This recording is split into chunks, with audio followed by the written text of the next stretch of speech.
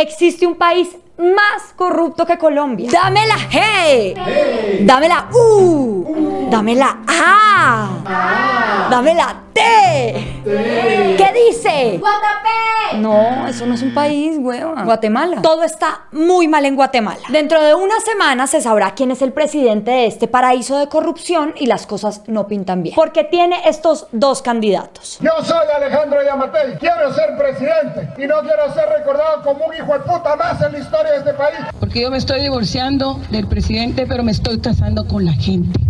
Me estoy casando con el pueblo. Alguna de estas dos bellezas es la que llevará las riendas de este país durante los próximos cuatro años. Y por eso hoy queremos contarles quiénes son y por qué Guatemala cayó tan bajo. Primero, un contexto. Guatemala ha tenido una historia dura y sufrida. Tuvo un conflicto de más de 30 años que dejó unas 200 mil víctimas. Ha tenido juntas militares, golpes de estado, genocidios, masacres. Y de todo eso intentó curarse con un proceso de paz y una democracia que todavía tiene muchos problemas. En Guatemala, en las áreas rurales, 8 de cada 10 personas viven la miseria. En el gobierno actual han migrado 470 mil guatemaltecos hacia Estados Unidos porque básicamente en ese país no hay medios para sobrevivir. Solo entre enero y junio de 2019 ocurrieron 2.330 homicidios y para completar llevan años cercados por la corrupción hasta el punto en que terminaron sacando un presidente torcido a punta de protestas en la calle. Tan podrido está el país de corrupción y tan poco confiables son las instituciones internas que les tocó unirse con la ONU para que investigadores extranjeros les limpiaran la casa. La CICIG ha sido muy efectiva desde que se creó. Desde que apareció, los guatemaltecos se han enterado de que la mitad del financiamiento de todos los partidos políticos de Guatemala viene del crimen organizado y de la corrupción. De que más de 60 estructuras criminales están metiendo la mano en el poder. De que más de 680 personas, que eran los intocables, los referentes, la gente de bien y el orgullo de la clase política empresarial, serían unos bandidos. Y de que el sistema judicial de Guatemala era un desorden que le permitía a esta gente hacer lo que se le diera la gana. Por eso, el 72% de los guatemaltecos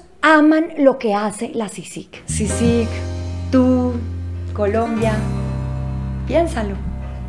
Y uno pensaría que con tan buenos resultados todos en Guatemala quieren que la CICIC siga para siempre destapando ollas podridas, siendo la trampa perfecta para roedores grandes. Pero no, todo era color de rosas con la CICIC, referente internacional, prestigio por aquí y por allá. CICIC, CICIC, sácalos de aquí. CICIC, CICIC. Sácalos de aquí. Hasta que, después de la caída de Otto Pérez, los guatemaltecos decidieron votar por alguien ajeno a la política, independiente, que no se iba a dejar untar y que hizo campaña con este lema. Este 6 de septiembre, ni corruptos ni ladrones. Ni corrupto ni ladrón. O de pronto las dos. Desde el principio de su mandato, Morales, que no era político, sino comediante de televisión, con más de 15 años de experiencia, respaldó a la CICIC porque dejó por el piso el prestigio del presidente anterior y porque era el momento perfecto para que él se coronara como el salvador de este lodazal de corrupción. Y siguió respaldando a la CICIC. Hasta que la CICIC se metió con él y con su familia por un posible financiamiento ilegal que habría entrado a su campaña. Y por unas facturas de unos eventos inventados que habrían hecho su hijo y su hermano para recibir dinero del Estado. Y ahora sí se le acabó el chiste. Ja, ja, ja, ja, ja. No, no es chistoso. Madure. Entonces arrancó a atacar como demente a la CICIG. La desfachatez y falta de ética volvió a manchar la imagen de CICIG, que ante la comunidad internacional se luce con vestiduras de ética y de transparencia. Y sí, sacó del país a su director Iván Velázquez y lo declaró un enemigo de la patria. Expulsó al embajador de Suecia, uno de los países que financiaba la CICIG, y lo declaró enemigo de la patria. Les quitó la visa a 11 investigadores de la comisión y por último ordenó que hasta septiembre, final, final, final, no va más la CICIG. Cero sospechoso. Pillen cómo anunció que la CICIG quedaba desterrada. Hemos notificado oficialmente al secretario general de Naciones Unidas la no renovación del mandato de la CICIG. Mmm, queda claro, usted me investiga, pues lo saco del país porque no tengo nada que ocultar. Y ni se le ocurra protestar porque mire los amiguitos que tengo. Fuertes, armados. Esos no se ponen con chistes. Eso no es sorpresivo. Morales es el típico candidato que empieza como Papá Noel y termina como Dark Vader. Durante su gobierno despidió a 600 agentes de la policía y contrató a otros más cercanos para hacerlos plegables a sus caprichos. Su círculo cercano está rodeado de la gente más horripilante. Un militar prófugo acusado de participar en masacres durante la guerra, otro militar investigado por haber asesinado a su padre, un diputado en la cárcel por haber asesinado a periodistas, además desobedeció lo que dijeron las cortes porque el poder soy yo y regaló unos bonos millonarios que repartió entre gente de su gabinete, a pesar de que prometió que su gobierno iba a ser el de la austeridad. Y ustedes dirán, pero bueno, ya se va, frescos. Pero ténganse que viene un show peor que este. En junio pasado se jugó la primera vuelta presidencial para reemplazar al humorista. Esa primera vuelta tuvo la módica suma de 21 candidatos y quedó en 18 luego de que sacaran a tres de ellos. El primero fue Mario Estrada, que ha tenido una carrera política tan exitosa que hoy está en una cárcel en Estados Unidos acusado de tráfico de drogas y de armas. La segunda fue Suri Ríos, a quien sacaron por ser hija del golpista y dictador Efraín Ríos Montt. Y la tercera fue Telma Aldana, ex fiscal famosa por haber acusado al expresidente Otto Pérez Molina y a su vicepresidenta Roxana Valdetti. Y por ser la líder de una cruzada anticorrupción. Esta candidata era la que estaba punteando en las encuestas y la sacaron un mes antes de las elecciones. Su expulsión no fue sorpresiva porque la querían hacer caer como fuera y le hicieron varias zancadillas. Primero la jodieron porque el logo del partido por el que se lanzaba dice que se parecía mucho al de otro, que mejor lo cambiara, que eso era plagio. Luego dijeron que cuando fue fiscal hizo unas contrataciones irregulares, pero el proceso ha sido bien oscuro y a puerta cerrada. Y por último la acusaron de permitir la compra de un edificio público por un precio mayor al que estaba estipulado en el avalúo. Hasta ahora todos estos procesos parece que son puro aire. Pero sirvieron para que su candidatura se fuera al piso un día antes de oficializarla. Y después de esta carrera de obstáculos quedamos con dos candidatos ejemplares. Sandra Torres y Alejandro Yamatei. Echémosle lupa a cada uno. Sandra Torres tiene tanta hambre de poder que le importó un bledo divorciarse de su esposo, antes presidente de Guatemala, para ser candidata presidencial. Álvaro, estaré contigo hasta que la presidencia nos separe. Ya se había lanzado antes y había perdido contra Jimmy Morales. Pero hoy, después de descabezar a todos sus enemigos políticos, es la más opcionada. Torres tiene un historial de fábula. Cuando fue primera dama, lideró todos los programas sociales que, aunque fueron muy populares entre la gente, porque llevaban bolsas de mercado, estaban hechos para manipular y capturar votos a como diera lugar. En su campaña de 2015 recibió cerca de 250 mil dólares que nunca reportó y que entraron a través de algunas empresas falsas. Un tiempo después, cuando dos fiscales comenzaron a investigarla por ese caso, alegó machismo y violencia en su contra para frenar la investigación. Y además intimidó al diario El Periódico por haberla criticado en sus notas. Tras esas críticas, al medio se le prohibió hablar de Torres en su condición de mujer. O sea, prácticamente no se puede hablar de ella. Ay, nosotros rajando aquí de lo lindo. ¿Verdad? Que estamos en Colombia. Míranos, Sandra, míranos. Démosle paso a Alejandro Yamatei, el ex jefe de las cárceles de Guatemala. Bajo su dirección ocurrieron siete asesinatos extrajudiciales en una prisión y dos de sus subordinados terminaron condenados a cadena perpetua. Es el candidato de extrema derecha, se ha lanzado a la presidencia desde 1821 y es el candidato que no ha entendido que nadie lo quiere. Pecado. Yo no quiero ser reconocido como un hijo de puta más en la historia de este país. ¡Ja! Pillen, Guatemala tiene que decidir entre dos candidatos malos. Malos, malos, malos, realmente malos. Pichos podridos, asquerosos, perversos. Ninguno de los dos apoya a la CICIG, por ejemplo. Tienen el brazo blandito para enfrentarse a los corruptos. Odian a la prensa, van tras los jueces que los investigan. Se rodean de la misma clase política tradicional que le ha hecho daño a Guatemala desde que es democracia. Y además tienen puro carácter de dictadores chiquitos latinoamericanos. Bravucones y mandones. Lo que se viene para Guatemala es un infierno político que probablemente terminará estallando las instituciones, que empujará a la gente a seguir escapándose de Guatemala y al final solo servirá para meter más mugre debajo de un tapete que está que se rebosa. Este programa está dedicado a los guatemaltecos que llevan meses pidiéndonos este video. Por favor, reporten su asistencia con un comentario abajo. No mentira, pero hablen y charlamos con ustedes y nos conocemos. Y ahora sí, cuéntenos en los comentarios quién creen que será el próximo presidente. No olviden suscribirse al canal y activar la campanita. Mientras pareciera que en Colombia dependiéramos de los gringos para destapar la corrupción que hay en el país, en Guatemala hay un colombiano que ya tumbó a un presidente y tiene temblando a otro. La historia es la siguiente. Iván Velázquez, que cuando estuvo en la Corte Suprema de Justicia fue el encargado de todas las investigaciones por parapolítica, en las que cayeron un montón de poderosos, incluyendo Mario Uribe, primo del entonces presidente Álvaro Uribe, fue nombrado en 2013 director de la CICI. Esta es una comisión independiente de la ONU que se encarga de investigar casos de corrupción en Guatemala. Velázquez desmanteló 12 casos gravísimos de gente del Estado haciendo trampa. Pero su home run, su éxito, lo que lo convirtió en leyenda, fue el caso llamado La Línea. Para resumirles el cuento, se trataba de una red de funcionarios que cobraban unas comisiones en aduana para dejar pasar ciertas cositas. Lo más impresionante es que Velázquez descubrió que el presidente de esa época, Otto Pérez Molina, hacía parte del grupito. Según la acusación, Pérez habría defraudado a Guatemala quedándose con unos 3,5 millones de dólares que no le correspondían. El escándalo fue tal que los guatemaltecos se tomaron las calles. Y al ratoncito Pérez le tocó renunciar, pero la historia no termina ahí. En las elecciones que siguieron llegó a la presidencia Jimmy, yo solo me lancé como chiste Morales. Y mientras tanto Velázquez seguía con su trabajo. Aquí es donde la cosa se pone buena porque a principio de año la CICIG dijo que estaba investigando al hijo y al hermano del presidente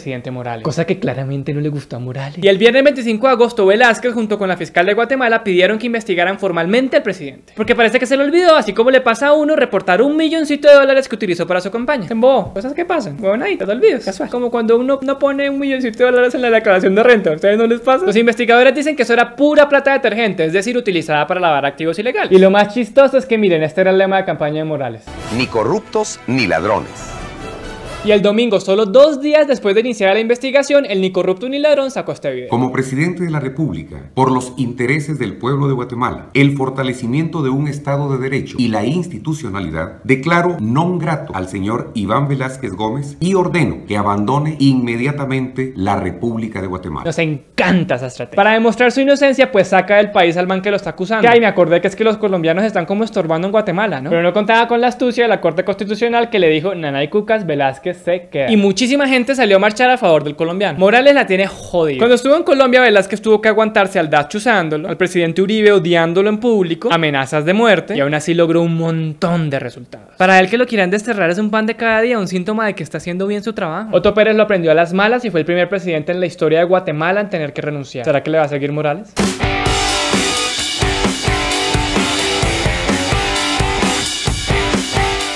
Analista. Muy buenas tardes, Diego. Muchísimas gracias por atendernos.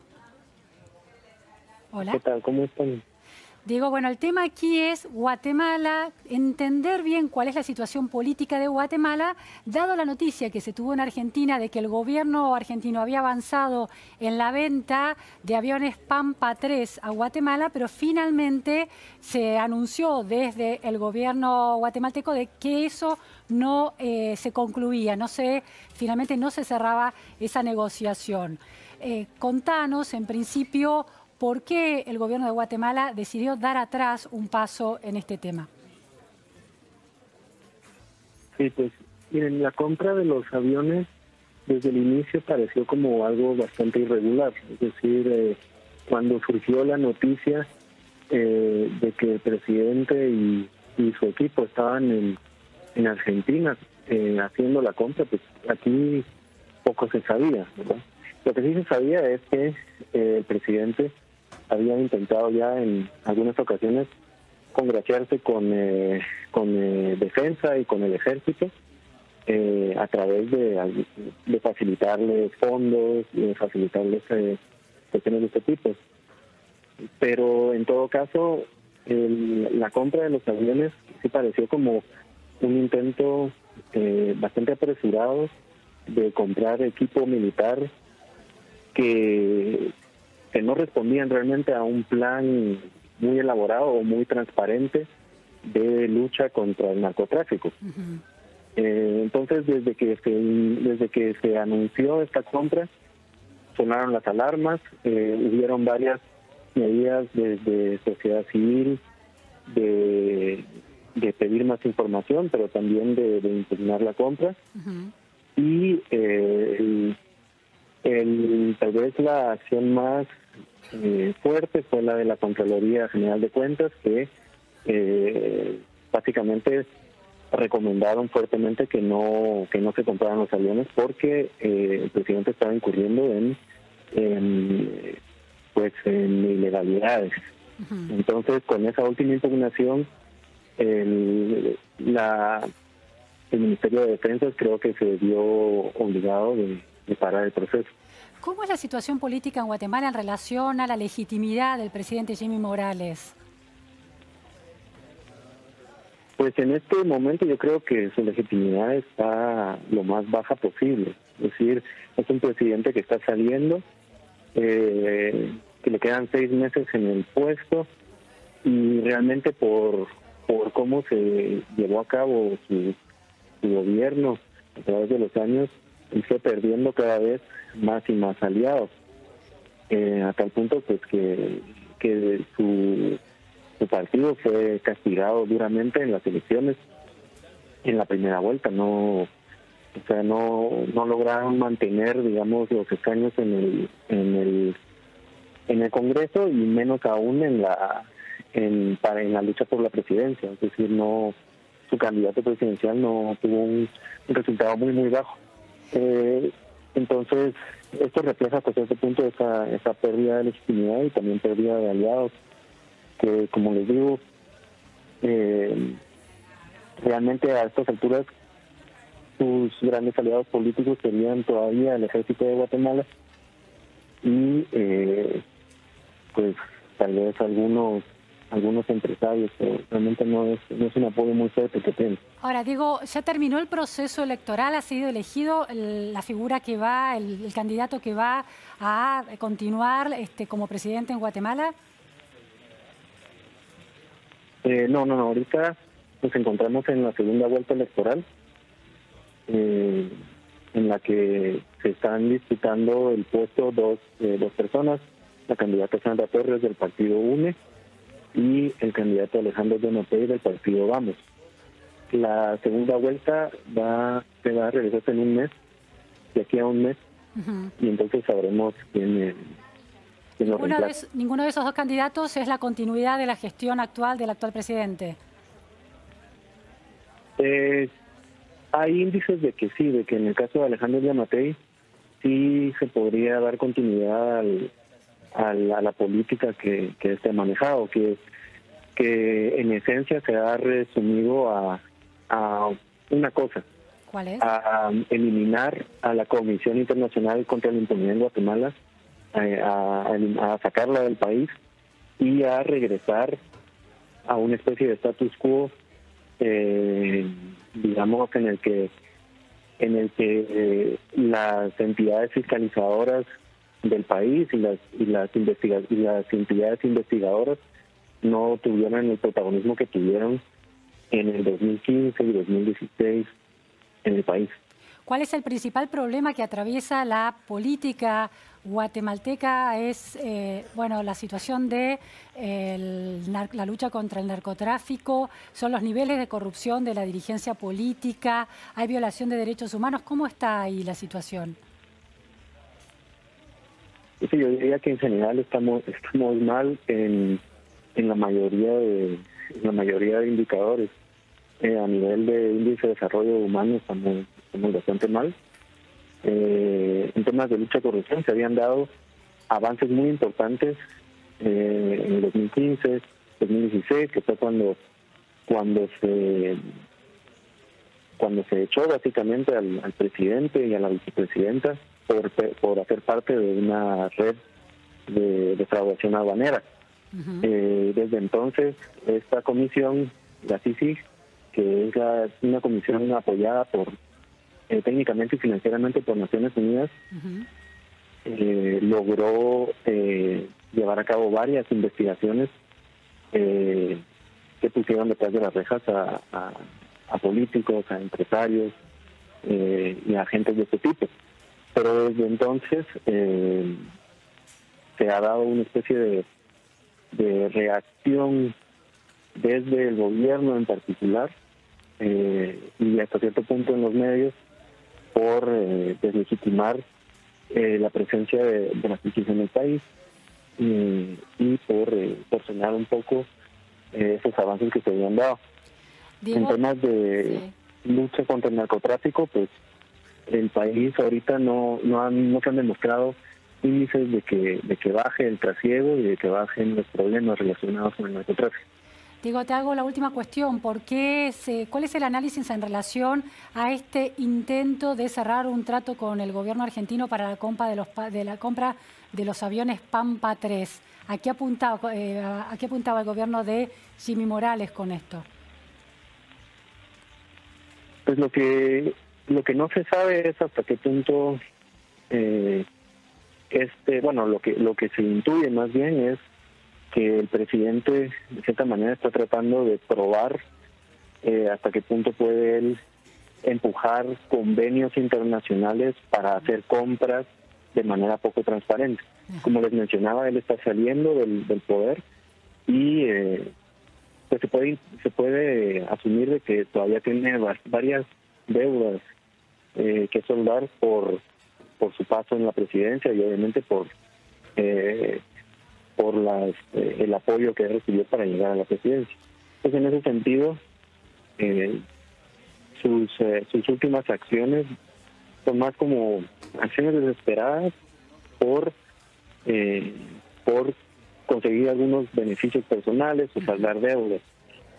El gran problema que se mira aquí o la gran preocupación que se tiene es que esas decisiones eh, desgastan un poco más la institucionalidad del país, que ya es bastante precario. Bien, muchísimas gracias, Diego Padilla, desde Guatemala.